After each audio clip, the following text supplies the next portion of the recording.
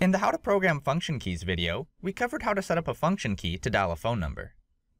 As big of a time saver as that is, it barely scratches the surface of how much time these keys can save you.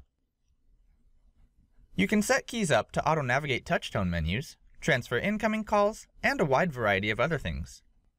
In this scenario, we'll use the repertory dial function to set up a key that will allow us to change the daily greeting with one key press. To begin setup, press and hold the key you wish to program. The key will light up, letting you know it's ready to proceed. Press the OK soft key to continue. Press OK and then press the down arrow until you see Repertory Dial. Press OK or the Select soft key to set this as the key's function. Arrow over Label, press OK and then enter the name of your function. Press OK or the Done soft key when finished. Next, arrow to the Settings menu and press OK.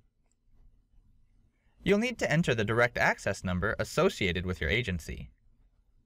Once entered, press the More soft key and then the Make Call soft key.